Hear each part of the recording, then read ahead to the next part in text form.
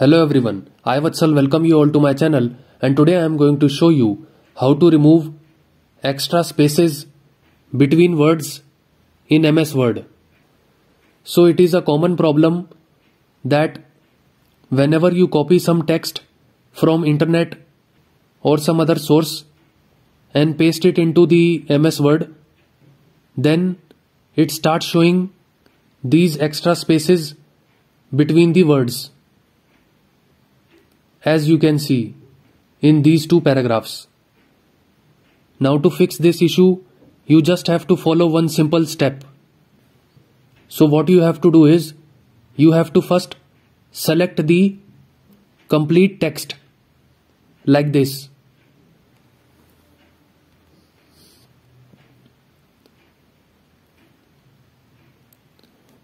Now on the keyboard, press Ctrl H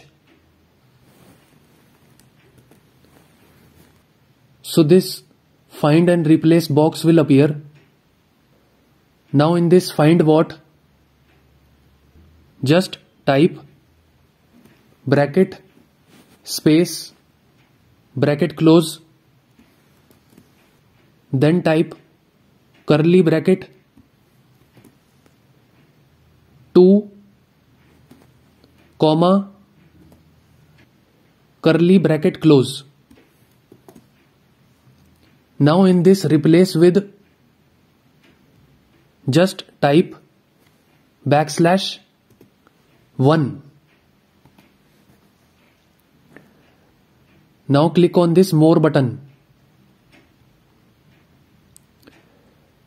Now select this option. Use wildcards. Just select it like this and now click on the button replace all. Click on yes button. Click on ok button. And now close this window. And you can see that all the extra spaces are now removed from the paragraph. So this is how you can remove extra spaces between words in MS Word. So that's it from my side. If you like my video, you can click on the like button and subscribe to my channel. Thanks for watching.